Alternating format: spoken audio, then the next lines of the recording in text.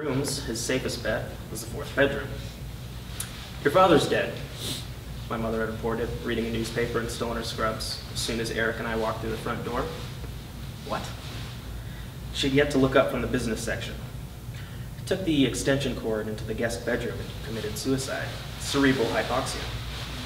He hung himself? No, Eric, he didn't. He hanged himself. Finally, she glanced in our direction. Interesting note. It's found with a postmortem priapism. Priapism? Yes, somewhat irritated. When the erect penis is unable to return to its flaccid state, occasionally found in corpses who have died by hanging. I found it ironic considering he could never seem to keep it up while he was alive. Eric blinked several times in rapid succession and rushed upstairs. She was never exactly one for sugarcoating. He didn't bring in the recycling bin yesterday, Francis. Following day, she told me to run to Kroger and pick up an extension cord. Same as the last one, Francis, that orange one. We never had any problems with that one. Never discussed the suicide again. Never uttered his name again. Never entered the fourth bedroom again. As far as I know, she's still living in the same nondescript Dayton suburb. Probably would have gotten a call if she died, like I did with Eric. Two years after my dad's suicide, he shot himself through the mouth. He left a note that read, chip off the old block. That's all I know about it. I didn't probe. The other sick fucks offered to drive back for the funeral, but we went to Youngstown instead. Our best gigs. Thank you.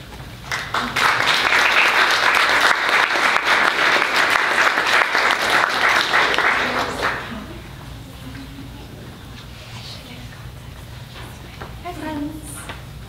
Uh, my name is Lauren. I'm reading um, from a short essay I wrote, so it's not as fun as everyone else's. Um, but it's on like representation, representations of the child philosopher, specifically through hi through Calvin and Hobbes, um, which is one of my favorite comics growing up, and it still is. So after facing disappointment at his father's inability to comprehend his own philosophy, uh, the titular child of Bill Watterson's popular comic Calvin Hobbes states, I think grown-ups just act like they know what they're doing.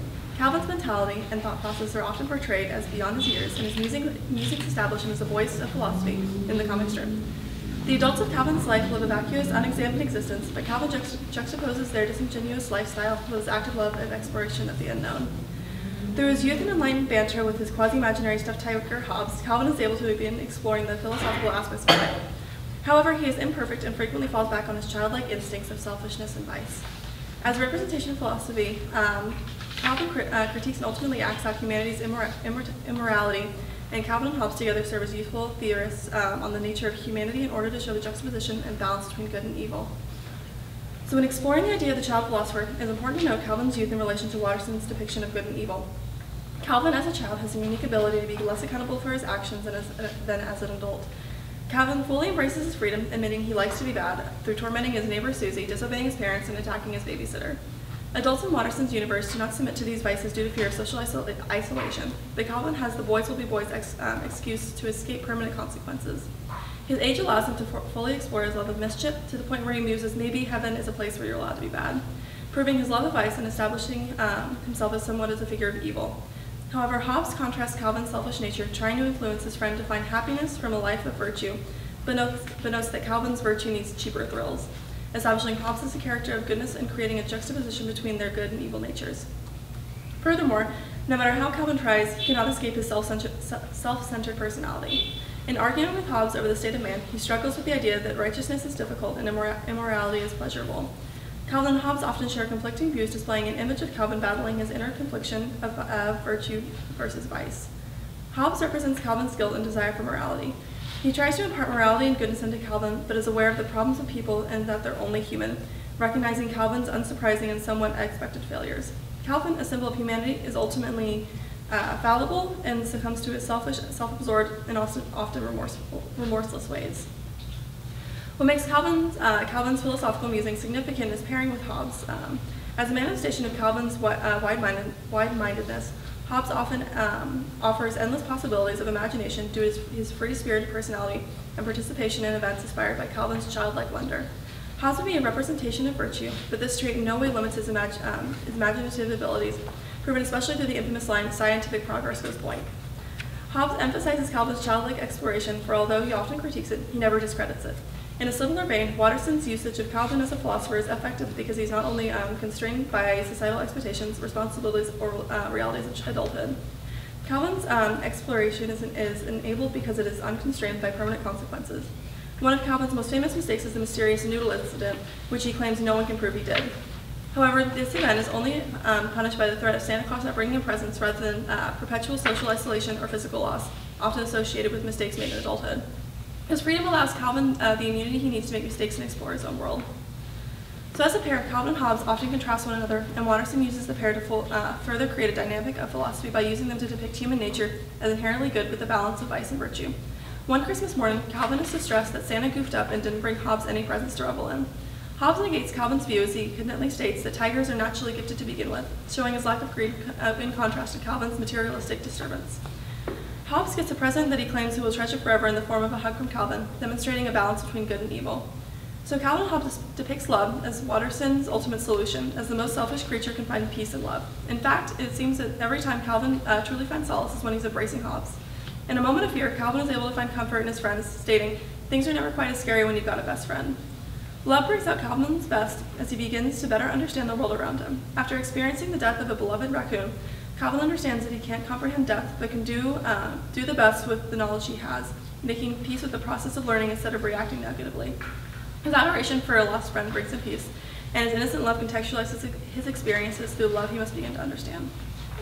So Calvin, a multifaceted uh, philosopher, is significant because his balance with, with Hobbes creates an image of humanity's harmony between good and evil, but more than that, Calvin is an effective medium for exploring questions um, of coming of age, um, scrutinizing answerless questions of death, religion, and the existence of Santa Claus.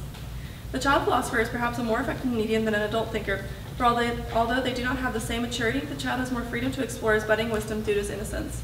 It is ultimately the child's uh, genuine innocence and love that makes him an effective medium for exploring philosophy, and the strict Calvin Hobbes, although somewhat an um, unorthodox medium, demonstrates the idea through friendship between a boy and a tiger.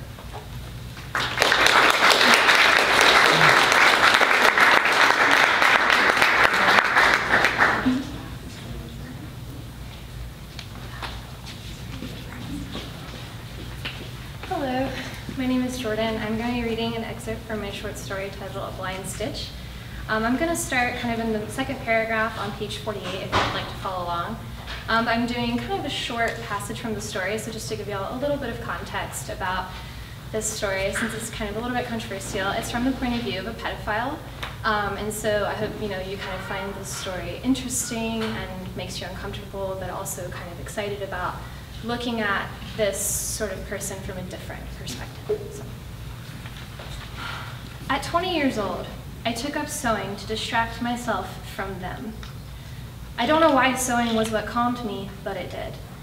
At first it was easy, but eventually I needed it harder, more complicated to increase, sorry, more complicated to match my increasingly complicated sexuality. So I learned a new trick, the blind stitch. Blind stitching is the method of sewing material together while making the stitch thread invisible or close to it. Blind stitching is the method of sewing memories and thoughts together while making the stitch thread easier to bear. Blind stitching is not the method of sewing broken rules that haven't been broken into an invisible line. Blind stitching is not the method of sewing broken fabrics together while making the stitch thread stronger. Blind stitching is the method of sewing material together while redefining togetherness. Blind stitching is the method of redefining. This is my house. These are the walls I have built. I am 31 years old and I have restrictions on my television channels.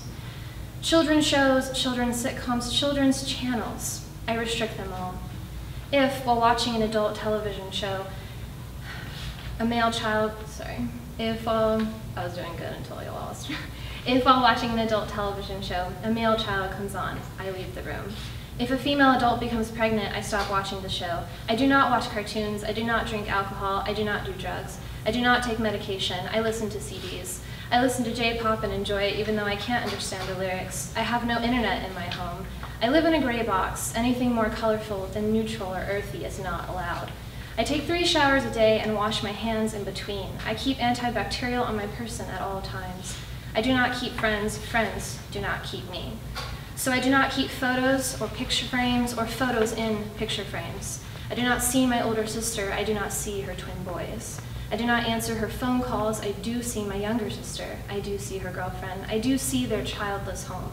I do not go to family reunions. I do not have much of a family. I do not have togetherness. I do not define. I do have a job. I do go to work. I do work with adults and only adults. I do go to the bathroom if a coworker brings their child to work. I do not talk to my coworkers if possible. I do not excel at my job. I do not get disappointed. I like to do things with my hands. I like to keep them rough. I have built these calluses. I have built this home. I do not use lotion. I do not use perfume. I do not have sex. I do not touch myself. I sew, I sew, I sew. I sew in my spare bedroom that is not for guests, so is not a guest bedroom. I sew in that room because it is my sewing room. I sew my mouth shut. I do not look out the window. I keep the blinds closed and the room dark. I sew. I sew a stitch. I sew a blind stitch. I sew a blind stitch and then another. I sew another until the lines run together and are not blind anymore. I try to do all this and more. But even when I try to sew a blind stitch, some stitches are impossible to be made blind.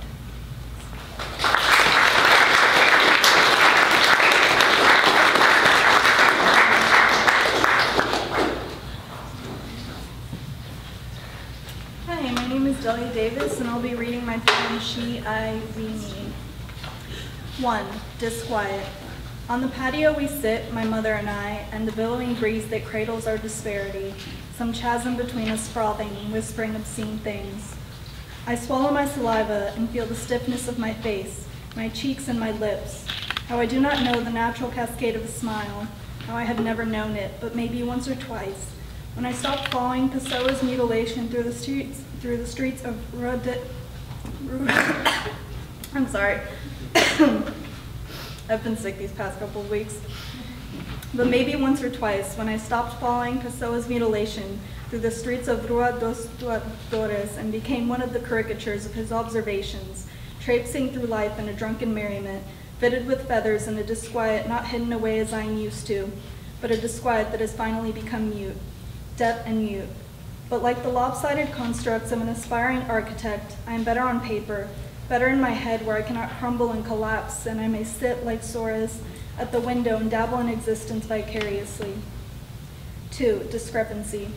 My mother is drinking a glass of red wine. She says the word love, places it confidently next to addiction. Argument ensues. She does not understand my cultivated composure, chalks it up to naivete. I do not tell her. Her face bears the brunt of bitter communism, sober years spent in a city dilapidated by Ceausescu's reign. We like to open up other, we like to open others up so we may pour our essence in them. Call it love, but I only see human desire masquerading cle cleverly, immortality trying to manifest itself like cancer in other human beings. My profile silhouette could do a stand-in for hers. This has followed me ceaselessly in the form of remarks from others. Her remarks are always the loudest. You're beautiful, just like me. Three, defiance. I can see her eyes water when I feed the chasm, bits of my hair and nails, dead skin cells flaking away, and what I truly think of sex. These picayune pieces now out of her reach. I love her, but I want to keep it this way. I want to tell her, I love you, mother, but I do not want this. I want to tell her more. I want to vomit. I do not do either. There are two paths, but only the narrator knows the paths converge. The listener cannot understand the gravel terror scraping her throat. The listener cannot possibly. My mother clears her throat. I see gasoline in her irises. I see the lit, the lit match drop. Four, delicate. We're in the kitchen, divided by plates of steamed potatoes, breaded tilapia, green beans, the salt and pepper shakers. Silence wraps a shawl around our shoulders. We chew. After dinner, I, I offer to wash plates. She nods. Baby conversations are exchanged. Once I can cradle in the palm of my hand. I have a headache. Yes. Work today was exhausting. Yes. Thank you for helping out. I set the final plate on the drying rack and listen. A clink reverberates in the absence between us. I hold still. I hear it in the presence as well.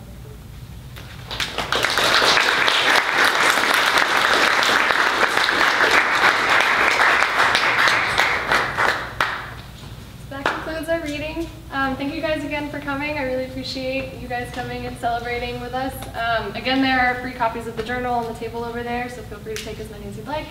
Um, thank you again to Malvern for hosting us. I really encourage you guys to look around. This is a really cool place. There's some awesome like books around here. um, and perfect for Mother's Day. So yeah, thank you guys again, and everyone who read, um, meet me over there because we're gonna take a picture together. thank you.